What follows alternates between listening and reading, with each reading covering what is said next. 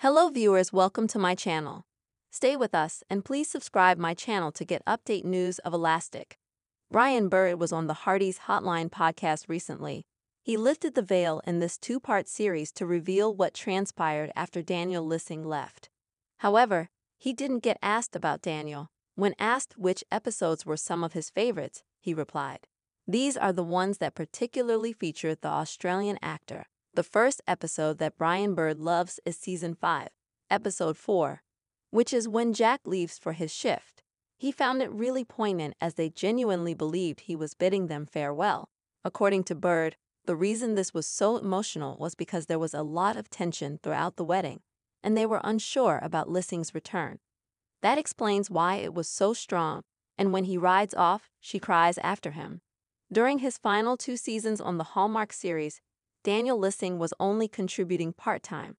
For a long time, he wanted to put the show behind him.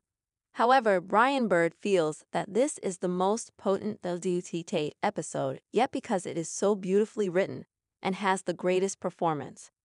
A lot of people are devastated by what actually happened here, and many of them don't comprehend it.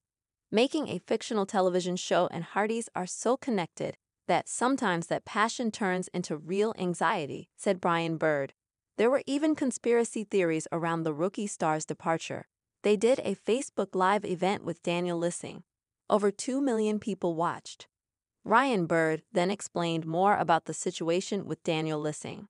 Before season 4, Daniel agreed to come back in more of a part time role, and they hoped to make him change his mind and make him want to stay. Then, at some point in season 5, they realized they needed to resolve this situation. This is why they had them get married. They were not able to get Daniel to change his mind, he wanted season 5 to be his last. The writers had to figure out how they were going to make this happen. They had to build stories. Because he was only part time, they sent him off and then he comes back. How were they going to make that happen? Now that they realized that they had to write Daniel Lissing out of the show, they had to figure out how. First, Brian Bird made it clear that no one else could ever play Jack. They could not even consider another actor. He pointed out that this was not the 1960s and when Calls the Heart was not bewitched. They were not just going to replace Daniel Lissing with a new actor for season 6. So, using the cast they had, how were they going to write themselves out of this situation? They figured that if they had broken the couple up, the Hearties would hate the show and never come back. What if Jack decided that his duty is more important to him than Elizabeth? Could he leave? The WCTH writers knew that the audience would hate this. Brian Bird shared that the only one option was death. He philosophically stated that this is life for all of us. He reminded listeners, this is our journey and our lives. The writers and producers clearly felt it would be shocking and hard. But they also figured that the audience needed to grieve Daniel Lissing's departure and Jack's death. They knew that this was traumatic in such a good way. Brian Bird then mentioned Downton Abbey, a show from Great Britain. He pointed out that Dan Stevens wanted to leave after season 3. This is a spoiler for those who have not seen the show, but he finally wins the heart of the woman he loves. They were at the peak of their love. They just had a baby. Blissfully, he leaves, but winds up in a car accident and dies. So, the WCTH writers took a page from their playbook he felt that circumstances required something this dramatic and traumatic. This is why he was killed by a landslide. This was a traumatic ending. Brian Bird felt that in season 5, episode 10, with the announcement that Elizabeth is pregnant was incredible. That is because he felt that Erin Krakow put on an acting clinic. He even mentioned that grief counselors have asked them if they can use this, because Erin goes through the five stages of grief Brian Bird believes Erin gave an Emmy worthy performance. He felt her acting was very powerful. Even though Daniel Lissing left when Calls the Heart, the producer admits that he still keeps in touch with him. Bird points out that if this was Hope Valley and if someone wanted to leave, what would they do? Of course, they would give wings to life. They would help that person fulfill those dreams.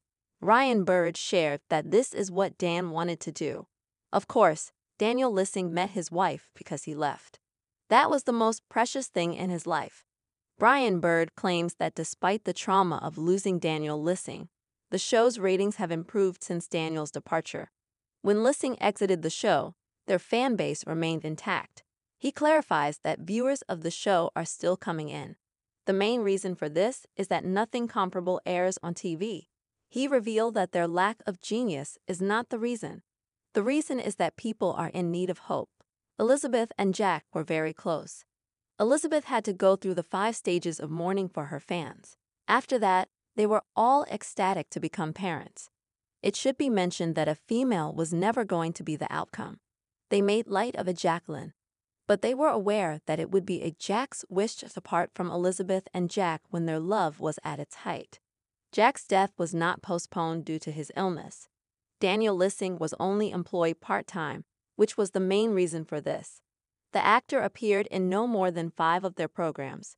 Get him married and buried in that time was what they had to do.